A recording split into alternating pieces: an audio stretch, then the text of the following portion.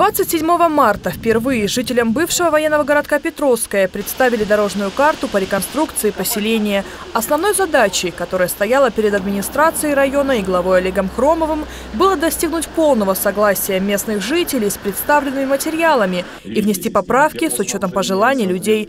Около двух месяцев шло обсуждение карты, состоялось не одно собрание, регулярно проводились встречи. С учетом всех предложенных изменений со стороны населения на днях Петровском Дорожную карту утвердили. Основные реперные точки дорожной карты мы уже обсудили, в том числе и с правительством Московской области, для того, чтобы получить софинансирование, в том числе уже в этом году. Итак, большая работа предстоит в области инженерной инфраструктуры, а именно развитие системы теплоснабжения, строительство нового водозаборного узла и модульных очистных сооружений. Много внимания будет уделено и капитальному ремонту жилого фонда, замене кровель. Наконец, у жителей Петровского появятся тротуары, будут отремонтированы дороги. Планируется строительство стадиона, что всем желающим позволит беспрепятственно заниматься спортом. Детские площадки также приобретут современный вид.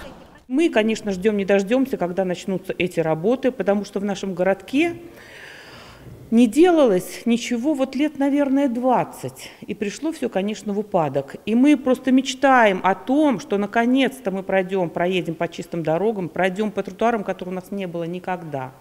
Что наши дети будут играть на новых детских площадках, что у нас будет стадион восстановлен. То, что жизнь вернулась в Петровское, заметно уже сегодня, в день Всероссийской экологической акции «Лес Победы». В детском саду городка были высажены кусты сирени. Взрослые дети активно поддержали инициативу и ранним субботним утром пришли в садик, чтобы посадить свое дерево. Дерево, они тоже живые существа, они красивые, зеленые, везде растут, радуют людей. Принять участие в акции решила и Илона Броневицкая, которая привезла с собой свои деревья. У нас просто в Ленинском районе есть такой институт, в котором ну реально удивительные саженцы. У меня вот дома есть одна такая яблоня. Все говорят, а где вы это купили? В Ленинском районе. И яблони Илоны Броневицкой, и сирень, посаженная в этот день, теперь будут радовать деток и украшать Петровское. Жизнь в городке, кажется, налаживается. Юлия Погосян, Владимир Бежонов, Анастасия Нурхонова. Видно ТВ.